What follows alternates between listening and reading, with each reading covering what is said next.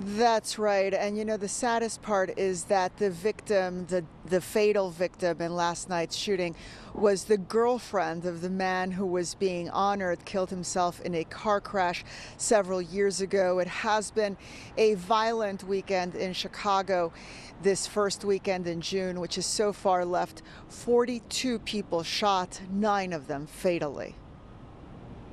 Surveillance video shows the chaotic moments just after 1 a.m. when seven people were shot, one of them fatally, during a large gathering in Chicago's Austin neighborhood.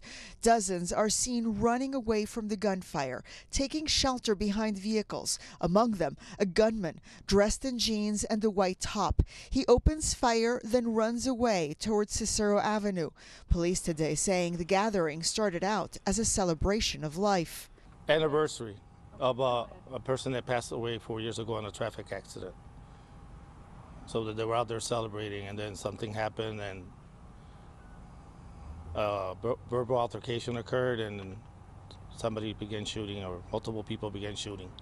This morning, detectives were back on the scene on the 4800 block of West Iowa, talking to neighbors, but also doing a secondary sweep of the area, which was so large and so crowded last night it was impossible to process properly. Yvette McCollum describes what she came home to about an hour before the shooting. It was totally fine. They were just laughing, dancing, talking, you know, just having a good time. It was just fun. And I just wanted it broke up because it was so many. It was too many. It was at least 100 kids out here. So many that McCollum says she called 911, hoping police would come and disperse the crowd. You couldn't get down the block. You couldn't park anywhere. They were in the alley. They had the alleys blocked off. And I told them all this on the phone, told the police all of this. It could have been avoided. Killed in the shooting was a 25 year old woman. Speaking to us off camera today, her family said last night's celebration of life was for her then boyfriend. Once police and emergency responders arrived on the scene, she was rushed to Mount Sinai Hospital, where she was pronounced dead. Police also telling us that four of the injured self-transported to Stroger Hospital.